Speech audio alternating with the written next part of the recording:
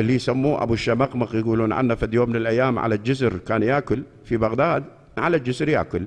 إحنا عندنا أكو شغلات يسموها خلاف المروءة مو؟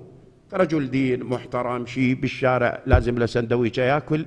يعني خلاف المروءة مو مقبولة. أي إنسان محترم شيء خلينا أخاف تسجل علينا مال محترم والباقيين اللي يأكلون مو محترمين. لا هي هو اكو أكو مقامات يعني. الإنسان يكون يعرف مقامه يعني. أنت تنتقده نفسك. انت شوف لك هسه واحد عنده سندويش عنده فلافل ويبيع بالشارع. شباب ياكلونه الف عافية وطبيعي ومو حرام وما بيها مشكل.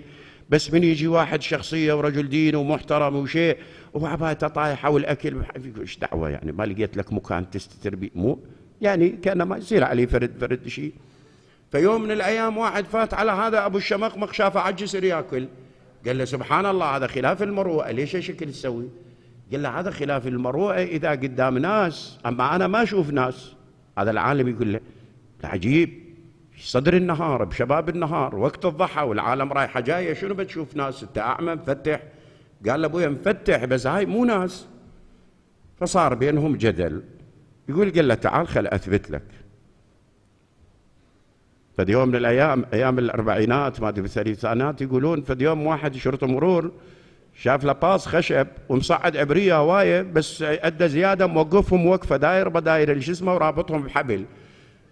شادهم بحبل حتى لا يوقعون بظهورهم داير على السيارة. فقال له المرور حاسبه قال له أبوي أنت شايل غنم؟ شايل بشر؟ قال له لا شايل غنم.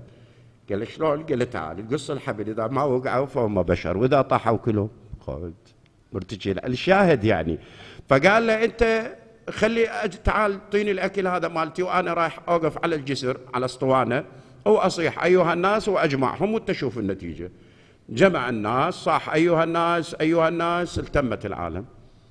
قال لهم قال فلان عن فلان عن رسول الله صلى الله عليه وآله وسلم من وصل لسانه إلى أرنبة أنفه دخل الجنة. يقول بهالاثناء أثناء شو؟ كل واحد طلع لسانه يريد يوصل ما يوصل اللي يوصل يكيف وهذا يرد هذا يبقى مقهور. ليش ما وصل لساني؟ يعني ما طاب بالجنة. وشنو ذا بلسانك؟ الله مسوي قصير مسوي طويل وش الخلقه بيد الله. قال له تفضل الشعب اللي استوعب هاي الرواية وأخذها وبنى عليها تصور تتوقع هاي ناس